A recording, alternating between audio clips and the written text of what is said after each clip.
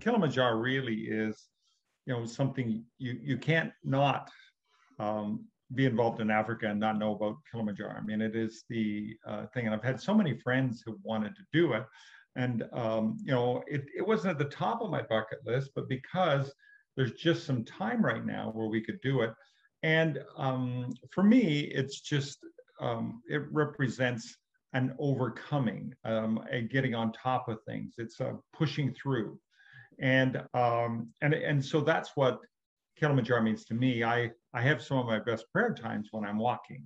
Thrive, originally Organics for Orphans, what it is, came from Dale walking with God in the cool of, of the day. You know, God God would just download ideas and and we both had this incredible passion to make a difference in in helping end poverty and so I just see this as an accumulation of 15 years of us working together as a couple with our goal being, you know, I mean, we know that we'll never totally end poverty, but I like to believe that Thrive for Good is going to make a dent in it.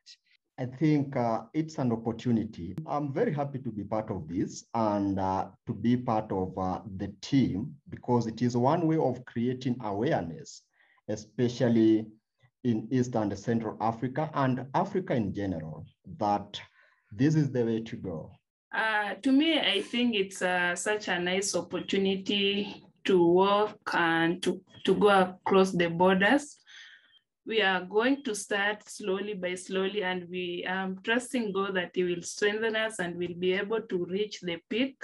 And like I know during this journey, we are going to share experiences and through this it's also going to strengthen our mindset towards like reaching our goal because we've been having this goal of reaching a million people in 2025 and you see this journey will encourage us and it will show us that everything starts small and everything starts with a step and it, it reaches to its accomplishment so many good things about this project not only the cause of what thrive's doing the personal challenge and then the challenge of actually making this documentary, but also just learning from everyone, everyone's personal stories, and just growing together throughout this whole trip.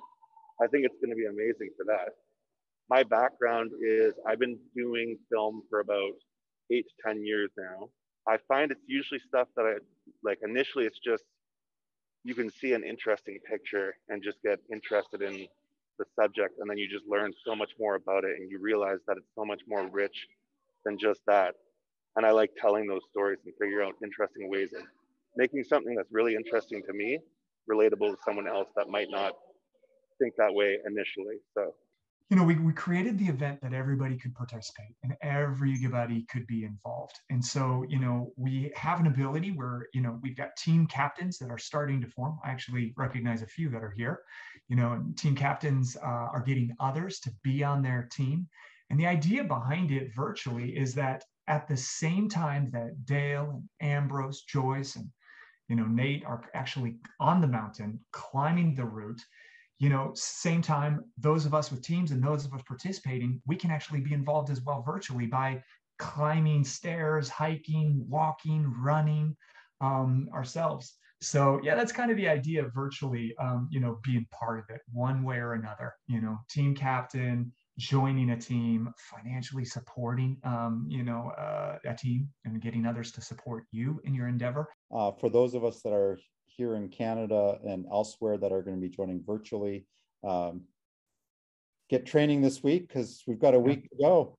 Uh, and for those of you that are climbing on the mountain, uh, we just uh, we will be with you in spirit, and uh, we just uh, be hoping and praying and leaning into a safe trip for you guys. So uh, and we're looking uh, forward to hearing the stories from uh, from both the virtual climbers and yeah. climbers on, on, the mountain. So uh, super excited.